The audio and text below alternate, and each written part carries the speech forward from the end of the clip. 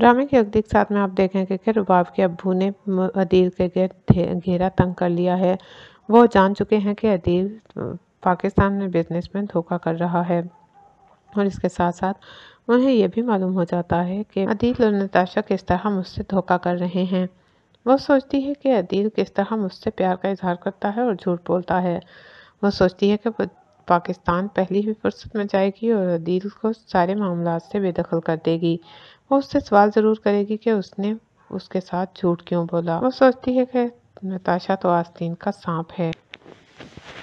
مصطفیٰ اور شرجینہ کے درمیان چھوٹے چھوٹے اختلافات بڑھنے لگتے ہیں۔ مصطفیٰ شرجینہ کے ساتھ بہت تلخ زبان استعمال کرتا ہے اور بہت تلخ بولتا ہے۔ وہ خود بھی بہت ڈس ہارٹ ہو چکا ہے اور خواب بھی دیکھنا نہیں چاہتا۔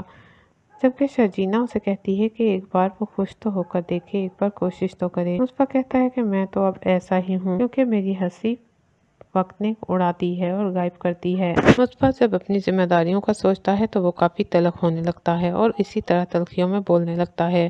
شرجینہ اسے کہتی ہے کہ وہ خوش ہوا کرے، اس طرح ہر وقت دل بھن کے نہ بیٹھا کرے۔